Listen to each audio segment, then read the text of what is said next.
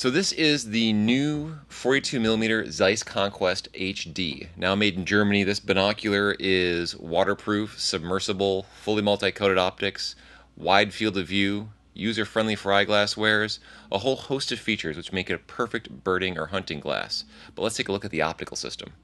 The optical system of the Zeiss Conquest HD is where this model really departs from its predecessor. It has the water repellent LotuTec lens coatings, the T-Star multi-coatings and dielectric prism coatings, all in combination to give it this high definition lens system which will give you phenomenally sharp images and incredible brightness and color contrast.